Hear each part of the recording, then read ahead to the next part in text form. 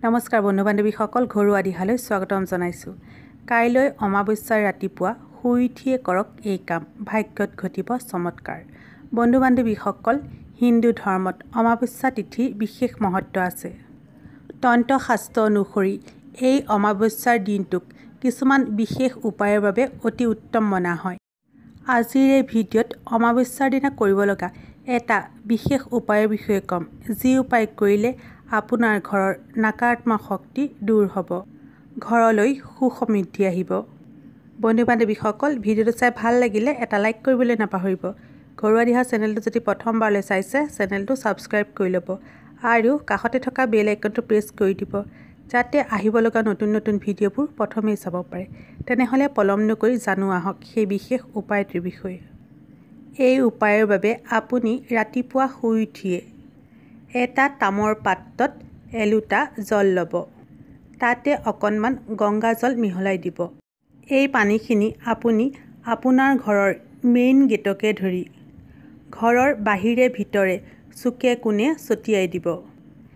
এইদিনা আপুনি স্নান কৰোঁতে স্নান কৰাৰ পানীত কেইটামান ক'লা তিল দি ল'ব আৰু সেই পানীৰে গা ধুব। স্নান কৰি উঠি এলোটা জল ল'ব আৰু তাতে কেইটামান তিল দিব।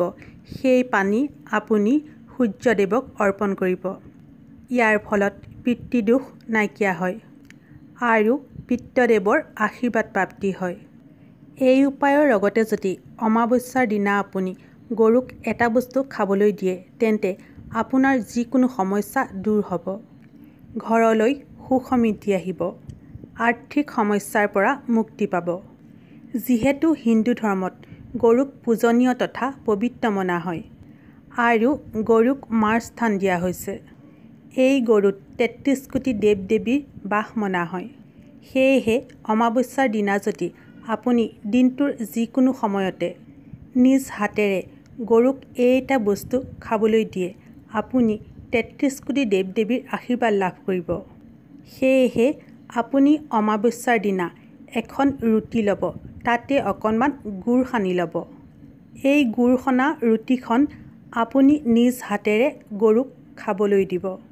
লগতে গৰুৰ গাত হাত ফুৰাই আপোনাৰ মনোকামনাও জনাব।